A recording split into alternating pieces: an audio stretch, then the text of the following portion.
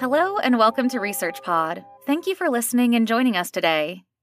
In this episode, we look at the collaborative work of Dr. R. Scott Conley, Associate Professor in the Department of Orthodontics and Oral Facial Genetics at the Indiana University School of Dentistry, USA, who is a champion in the field of orthognathic or jaw.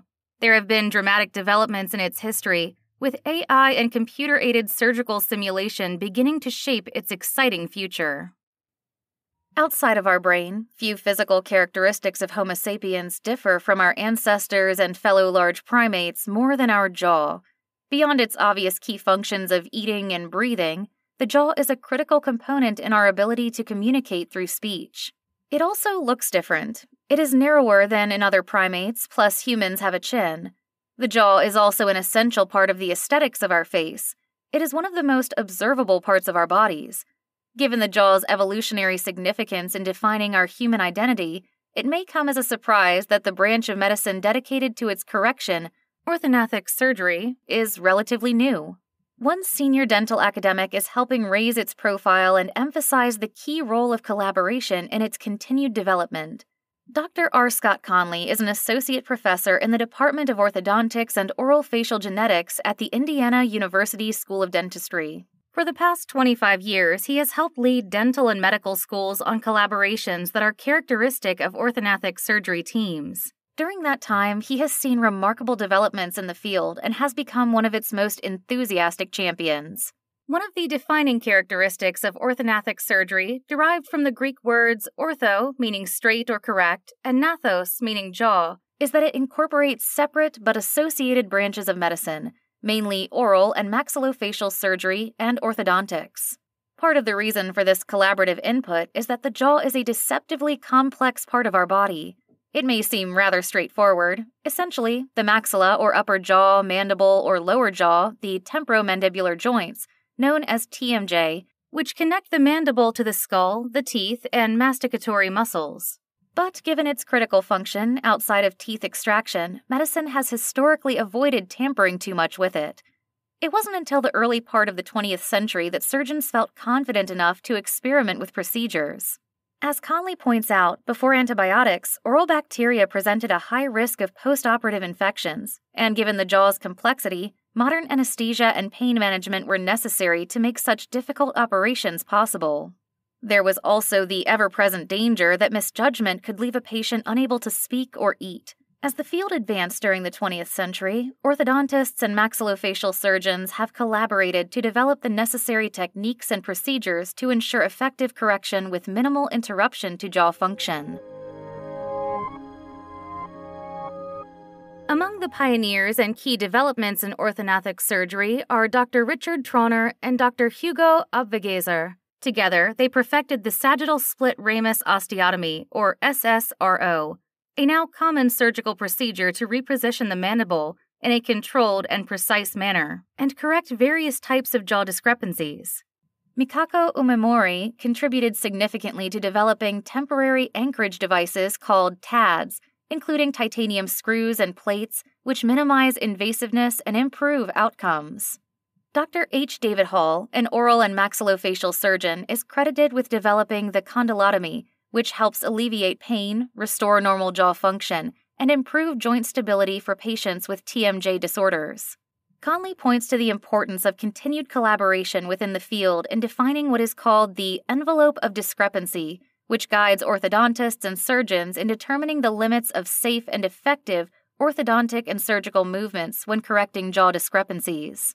Understanding the envelope of discrepancy allows surgical teams to assess the feasibility and predictability of treatment outcomes, helping them make informed decisions and establish realistic treatment goals. One of the most important developments in this collaborative treatment planning process has come from significant leaps in imaging technology. For years, orthognathic surgery would require combining detailed dental records, multiple x rays, and building physical models of a patient's jaw prior to any major procedure. Today, techniques such as cone beam computed tomography or CBCT and computer aided surgical simulation provide highly detailed 3D images, allowing orthodontists and surgeons to simulate various surgical movements and analyze their effects on the facial appearance and occlusion before lifting a scalpel. Notably, they can easily share data to allow the input of other specialists in real time to ensure a successful outcome. Computer technicians are now among those specialists and part of the interdisciplinary collaboration defining the development of orthognathic surgery. As the technology advances, the field will grow even further. Specialists in artificial intelligence, machine learning, and deep learning are already looking for ways to take orthognathic surgery to a virtual level of collaboration, crunching vast tracts of data to create AI generated surgical approaches based on proven optimal outcomes. Compared to other fields within medicine, orthognathic surgery may be relatively new, but its evolution has been quick and dramatic, energized by its collaborative nature. For Conley, its future is bright and exciting. It must be. After all, the jaw is too important a part of our own evolution.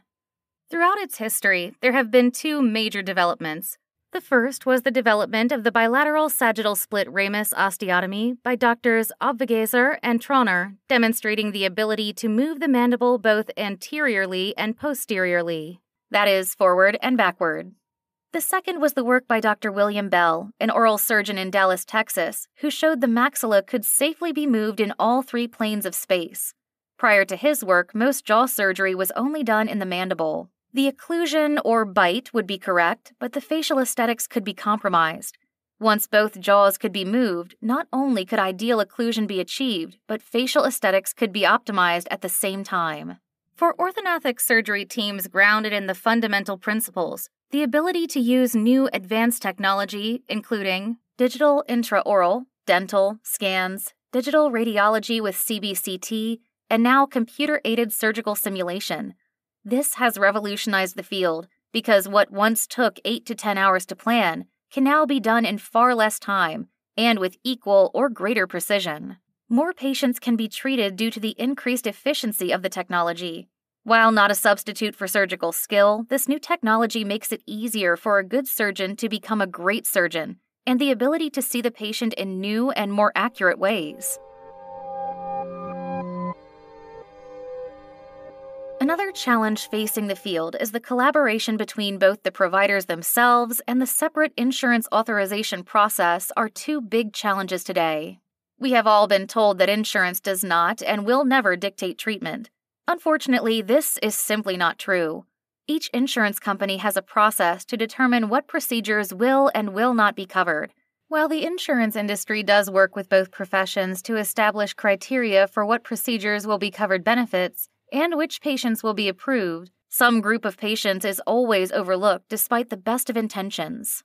The problem is made more challenging since it involves both dental insurance coverage for the orthodontic care and medical insurance for the surgical care. Treatment can be covered by one or both, but in some instances will not be covered by either. Unfortunately, the two insurance entities are frequently completely separate and do not coordinate the necessary care approvals.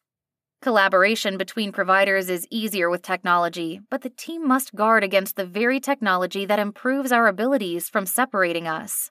Treatment plans can be done in separate buildings, but then team members risk losing touch with one another.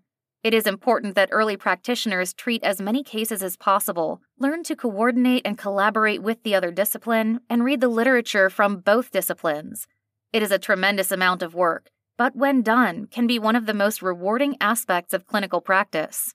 Technology will continue to be a tremendous tool for both disciplines.